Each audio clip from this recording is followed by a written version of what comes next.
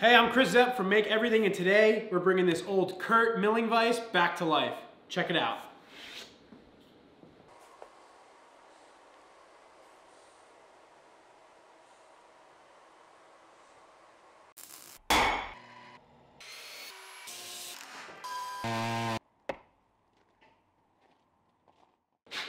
All right, so the story behind this one, um, I picked up this and another vise very similar to it. It's a, a Loctite. It's basically a Kurt clone at an auction. I paid $25 for both of them, I think. Um, now, the Loctite one is fine, but this Kurt one, as you'll see, is totally seized. Um, I could just barely, with all my weight, get the screw to turn to move the jaws in and out. Um, aside from that, it's got some rust on it I want to clean up and I want to get it functioning good. So let's get it taken apart. So the disassembly of these Kurt vices is pretty simple. The movable jaw comes off with just a little set screw and the fixed jaw comes off with two screws on the bottom. There's the D60. That's how I know this is a Kurt vise even though it doesn't have any other markings on it. The two Allen key bolts on the bottom hold the fixed jaw in place and there's also a little keyway that keeps it nice and square to the movable jaw. Now the major issue with this vise is that this screw the Acme screw and the screw box are just totally seized up. They refuse to go together and thread easily. And there's also a thrust bearing that was inside there. You just saw me looking at it with the flashlight. That is totally falling apart. You can see all the rollers and stuff in there. So at first I'm just taking the air compressor and some wire brushes, cleaning everything up. This is an older Kurt vise, so it's definitely seen a lot of work, and it's hard to know how well it was maintained because I don't really know the history of it, but I just want to make sure that everything is nice and functioning before I start to try and use it.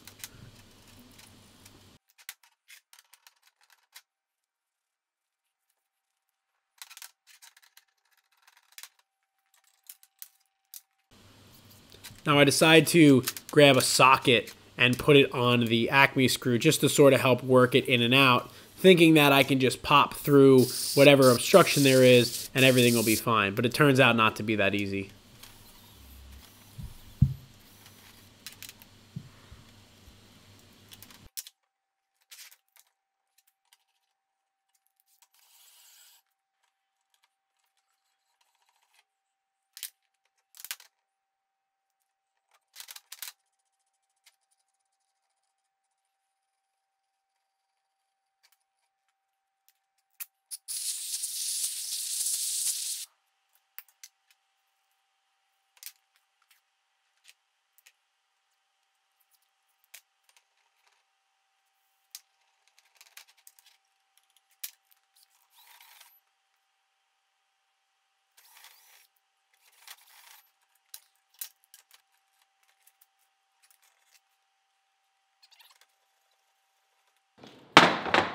All right, so what's happening here is I can't seem to get the lead, the lead screw in past this line that I marked.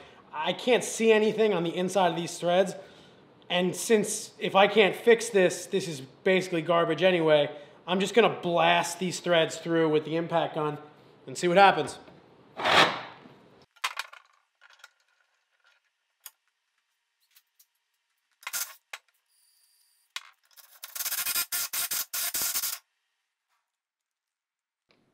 Maybe if I round over the end of this, maybe there's a burr or something.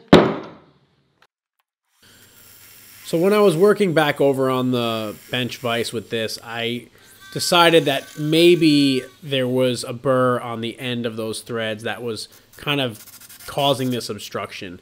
Um, I really wasn't making progress, and I was using that tape to sort of reference that in and out, but I noticed kind of as I worked into it, I was getting a little bit of progress here and there, moving in very, very slightly with every in and out. Uh, using oil, I'm actually switching to a thread cutting oil um, and a gel lubricant just to sort of work this thing in and out and push out whatever might be blocking this.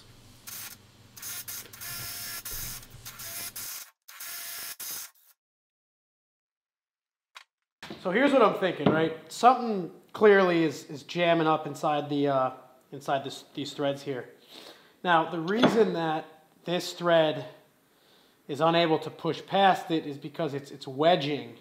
Whatever is in there is wedging up against these threads. So what I'm thinking is if I make a couple of small relief cuts in the end of this Acme thread, it'll act as a little carrier and it should be able to push whatever obstruction is in the way out. Uh, now there are some relief cuts. There's a relief cut in the back side of this, which I would assume is kind of for the same thing so that instead of the threads having nowhere, you know, instead of the obstruction having nowhere to go, it can sit inside that relief cut and then get carried out. I, you know, I don't know. This might be completely the worst thing in the world to do, but, you know, at this point, I don't really have much to lose. So I'm going to grab this in the vise, put a relief cut in it, and see if it helps.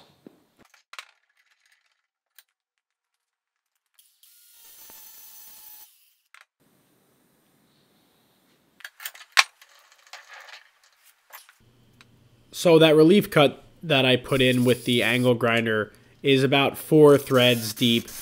And I'm hoping, like I said, that it'll just push whatever is in the way um, out of the way.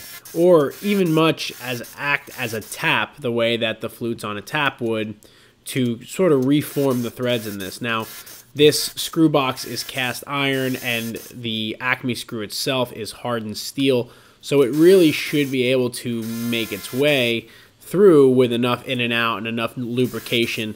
So you'll notice that every time I pull the Acme screw out, I'm cleaning it with the rag, and that's because any of the chips that are on there, I want to evacuate them from the screw box. So I don't want to wind up putting anything back in there that's going to hinder, you know, the threads moving in as I go. Now you can see I'm getting pretty close to that stop that was uh, turned into this shaft. And that's really my goal. I want to give this thing full range of motion, so I just push it just a little bit more and make sure that I can get that.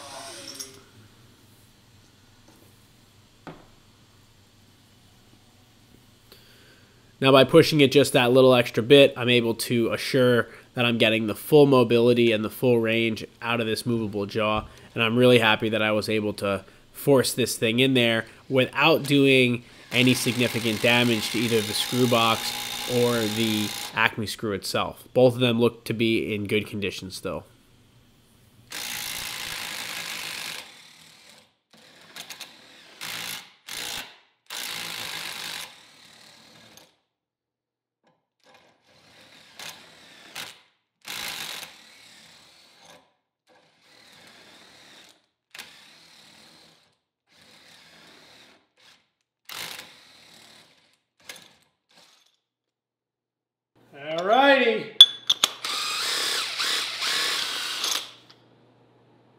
Nice.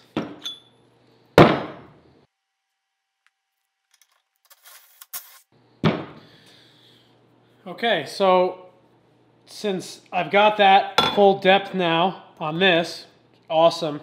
The next thing to address is the back of the lead screw. This is all chewed up. I want to get this on the lathe and face that off, make it nice, so that when I put the roller bearing on there, this thing rolls really nicely against the other side of the vise. Over on the lathe, I just take the air compressor and clean off some chips, and then I chuck this thing up in the three jaw. I'm not doing anything crazy here. I'm basically just taking one of these insert cutters and just taking a couple of facing passes off of that turned in stop. I just want to make it nice and smooth and give the thrust bearing that I'm going to put into it later a nice surface to run against. So I using two different cutters and then a file, I just clean up the part and make it good.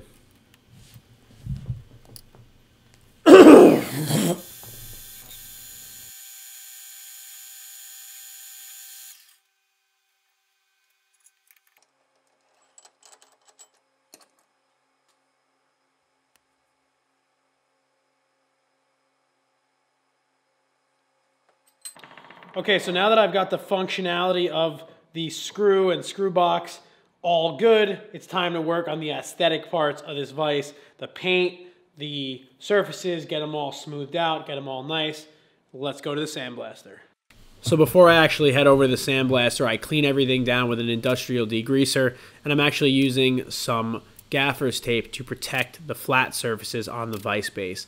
Now, the gaffer's tape is a little thicker than the blue tape, so it'll just help protect against that compressed air and abrasive that's going to be floating around inside the sandblasting cabinet. I also take some time to protect some aspects of the screw box just so that any machine surfaces that look as though they want to be perfectly flat can remain that way and again not get corroded by the abrasive and the high pressure. I take some paper towel and I stuff it inside those threads that I just work so hard to protect and make sure that they don't get damaged by the sand is either.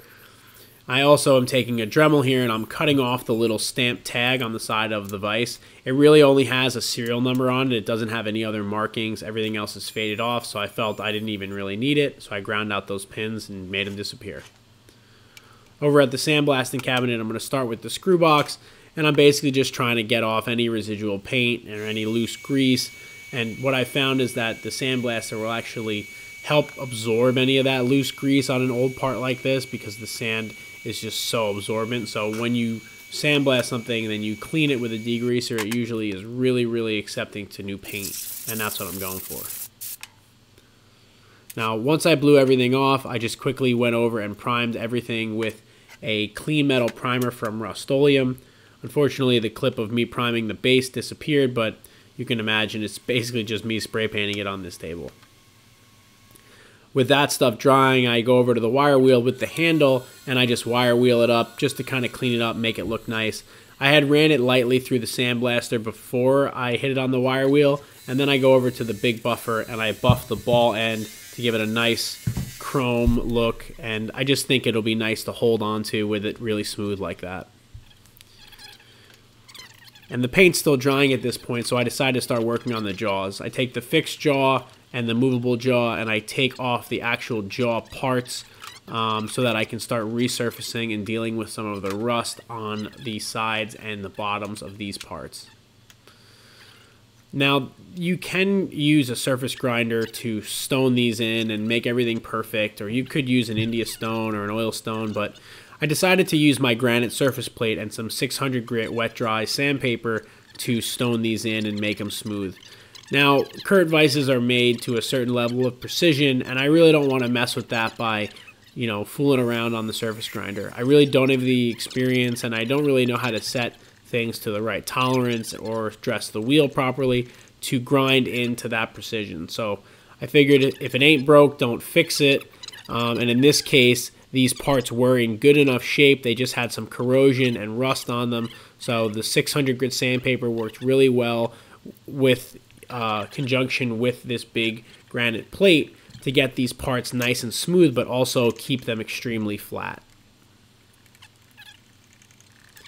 And a good little trick that you'll see me doing here is I actually sprayed the stone down with Windex and then I more or less stick the sandpaper to it. Now the water will actually do a good job sticking the sandpaper down, any sort of liquid on the granite like that. And then the actual jaws, they slide pretty nicely on the sandpaper. You can see how I get that underside ledge as well by hanging it over the edge and just kind of running it back and forth, adding that Windex liberally.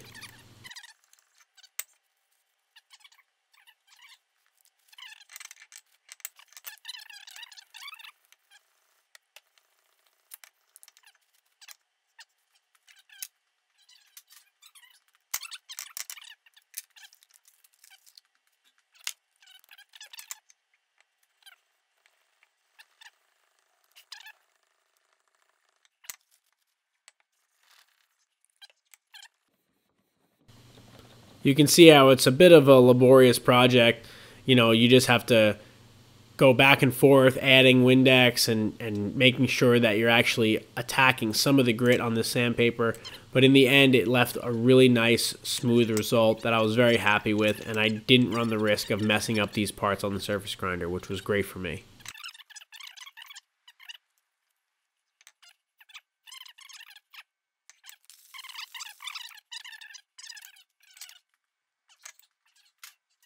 Now with those parts done, I can go over and check on the primed base and the primed screw box and head back onto it with some blue spray paint just to match that traditional blue Kurt color. Now this is a 2X paint again from Rust-Oleum, so it's not exactly the right Kurt color, but it looks pretty nice.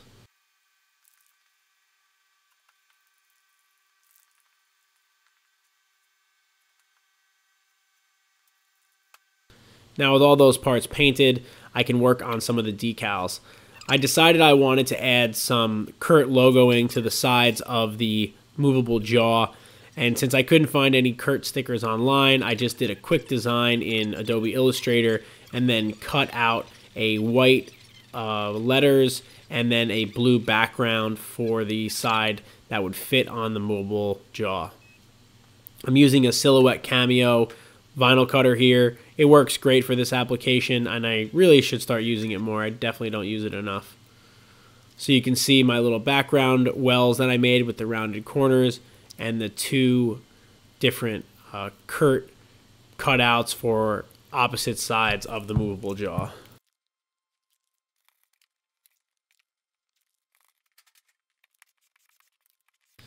Now, since these are die cut stickers, I use some transfer paper to properly keep the letters aligned and I stick them to the little blue backgrounds so that when I'm ready, I can stick these directly to that movable jaw and have this thing looking really good.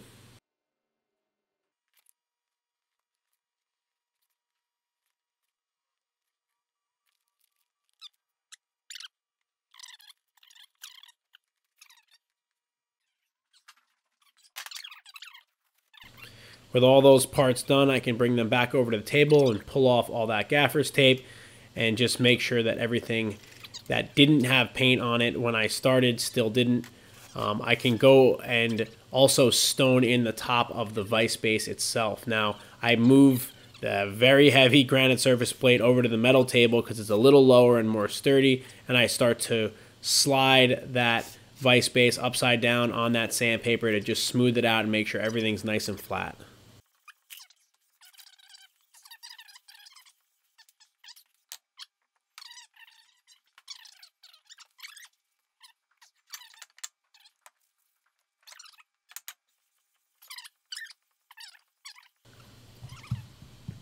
Now with the vice base, again, I'm, I'm not trying to regrind anything, just make it smooth.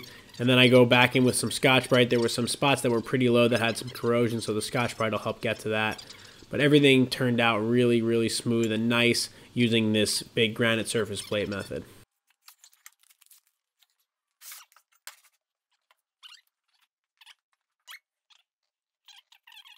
Now I can get ready to do the assembly but I run into a little bit of a problem.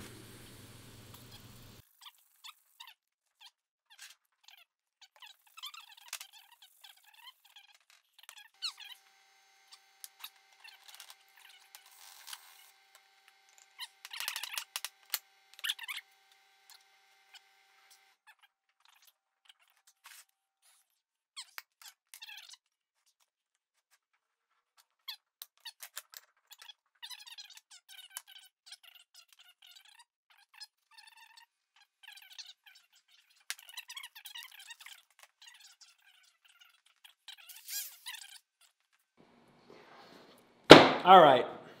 So I made a mistake. I shouldn't have painted inside here. Whatever. Um, and I probably shouldn't have painted on the sides of this. So I'm just gonna go back now with the uh, surface conditioning pad. This is a soft back pad with a surface, surface conditioning uh, disc on it. This is from Benchmark Abrasives. Thank you, Benchmark Abrasives. And this will get in there and it'll strip out the paint in there and hopefully not do too much damage to the rest of it. Now I was very careful with this little surface conditioning pad to just grind in on the sides of the vice body and I was able to actually get in there with the offset from the center of the spindle to the edge of that wheel and then similarly I was able to basically strip the paint off the sides of that screw body and it worked out really well.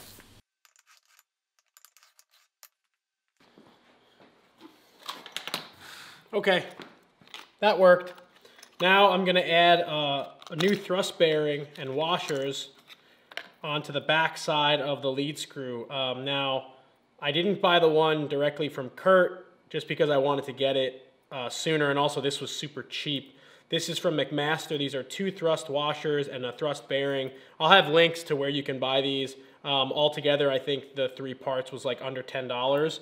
And now what this is gonna do is it's gonna sit against this on the, on the lead screw here and it's gonna allow me to tighten up the locking ring and still have this actuate really smoothly uh, with all the load being put on this roller bearing. with that little piece installed, I can do my final assembly. I'm just checking the functionality of that movable jaw using the drill and then threading on that locking ring. Now the locking ring gets a little set screw and that just sort of dictates where it will land and how much tension there is on that part of the vise. And I just want it to be smooth enough that it runs nicely but not so loose and smooth that it has slop. And overall I was able to achieve that. These two wells on the bottom of the movable jaw were filled with grease when I took it apart. So I'm just going to go ahead and do the same. This is some red and tacky grease.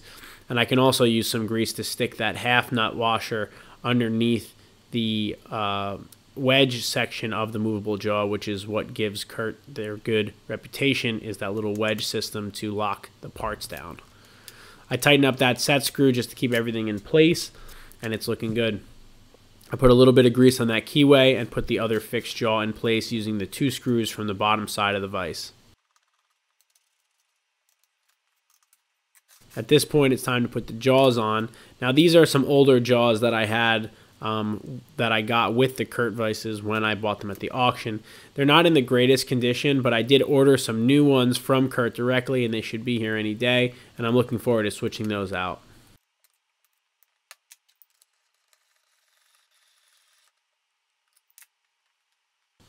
Now I'm just cleaning the sides of that movable jaw so I can apply the little decals that I made. And you can see they look really nice with the blue background and the white letters. Making sure everything's free of dirt and oil before I stick these on so they actually stay in place. Overall, this project came out super nice. I'm really happy with the functionality of the vise. It's super smooth and it's going to be in service for a really long time.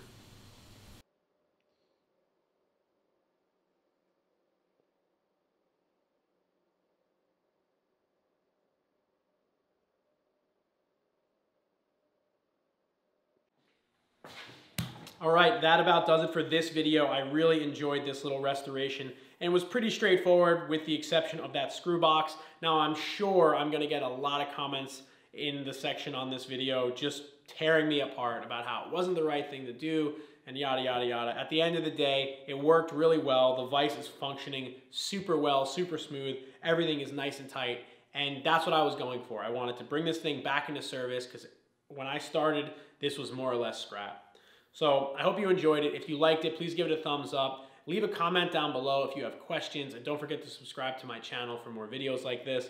If you want behind the scenes looks at what I'm doing in the shop on a day-to-day -day basis, follow me on Instagram at Make Everything Shop. I post every day and I post stories and behind the scenes stuff from what I'm doing and also what my friends shops and what they've got going on when I go and visit them and go on tool picking fiascos and buying stuff from auctions and all that stuff. I want to say thank you to Benchmark Abrasives for supplying abrasives for my shop, like that surface conditioning wheel. There are links down below that you can check out that run through me as an affiliate, and it helps me keep the lights on and all that stuff. So again, fun little project. I hope you enjoyed it, and I hope to see you on the next video. Thanks.